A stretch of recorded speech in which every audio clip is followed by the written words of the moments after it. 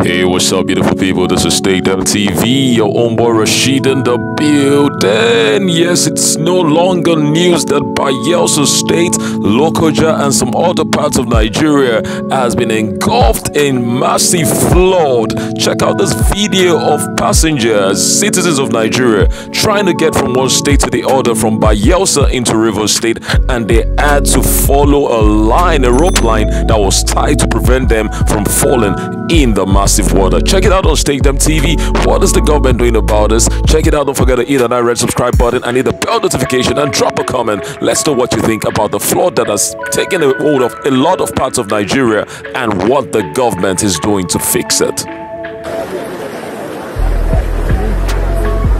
Oh, it's not, it's not easy.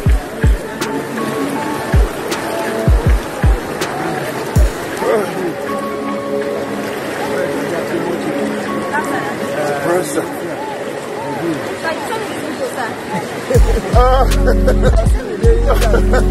it's not easy. It's not easy. Oh.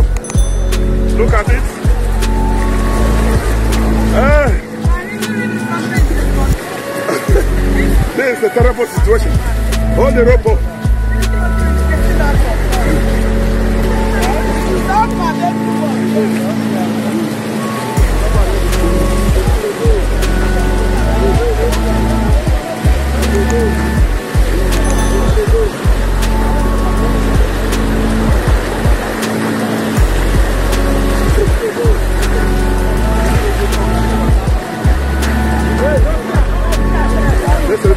The situation of things.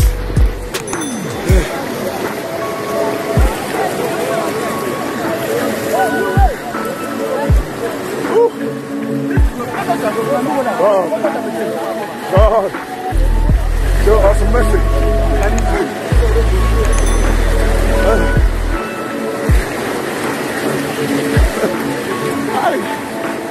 Well, men and brethren, this is the situation, the current situation. Sunday.